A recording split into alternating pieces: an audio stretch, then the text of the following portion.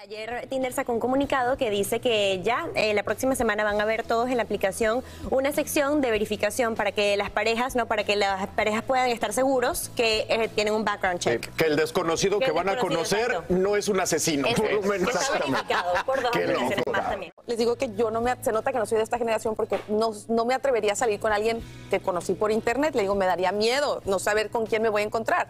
Entonces me dice Jessy, ¿Cuál que es me tu razón? ¿Cuál es que tu parte? Yo siento que con esta era digital nos han como forzado a creer en eso porque hay tanta gente en el mundo, es tan fácil de comunicarte con alguien en París, en Roma, en donde sea, que ya los chicos, por, yo hablo de una perspectiva de mujer, Claro, ya los chicos como que ni siquiera quieren salir con chicas que viven en su misma ciudad, sino que quieren buscarlas en otras partes, exacto, entonces hace que todo sea mucho más difícil de encontrar a tu media naranja. yo lo veo Yo al revés, decía- Carla, porque, me- perdón que te diga, pero agregando, no mi mamá que está ahorita, pues es viuda, está soltera, yo le he hablado mucho de esto, que la y le digo, ¿tú te meterías a uno de estos websites a buscar pareja? Y me dice, no, no, no, yo ni loca, pero yo en mi mente lo veo como una opción para ella. Pero fíjate, es que yo- ella decía que hoy en día ya no se puede conseguir pareja así de fácil como era antes. Y le digo, no, es que quizás están yendo a los lugares equivocados a Ya, buscar también. pareja. Sí, 100%. Eh, por ejemplo, la pareja muchas veces eh, se encuentra en la universidad porque son gente con la que vas a, empiezas a convivir, ya estás madurando. Muchos, bueno, yo me casé con el de la universidad. chicos llegan a una fiesta y ya ellos están pendientes de Tinder, de que Claro. están hablando contigo, pero ya se tienen que ir Ay, porque no, qué triste. Entonces estoy muy, muy atorada yo en esto.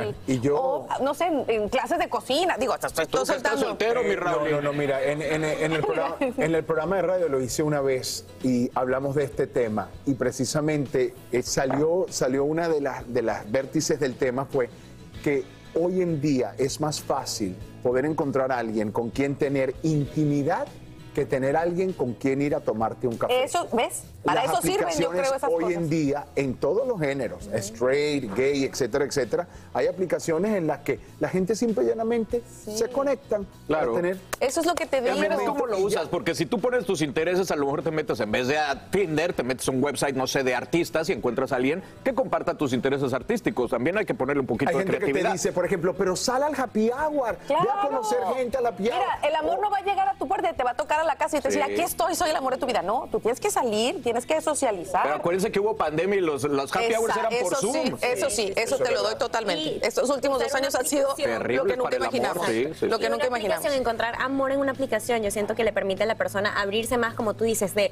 manera íntima y no física, porque no estás viendo la cara a la persona. Pero también- ahí le puedes decir, pero también me te siento da así, la- me siento asado, y bueno, si ya piensa que eres una loca. Pero también te da la oportunidad de mentir, porque no estás dando la cara. Claro. Eso es a lo que yo voy. De a mí me hacerle da- Photoshop. Exactamente. O sea, ni siquiera sabes que la persona que está retratada es. Y mucho, esa, yo me puedo sentar haciéndome pasar hasta por hombre. A mí, me, ¿sabes a ¡Qué quién le pasó a! Chucky? Tú me no. contaste que una mujer una vez lo engañó María físicamente. Antonieta Collins Sí. hicimos ¿También? la historia en Despierta América en domingo. Y acuérdense que la persona que estaba en la aplicación había usado una foto que no era de él y al final resultó ser el ex de María Elena Salinas. No manches.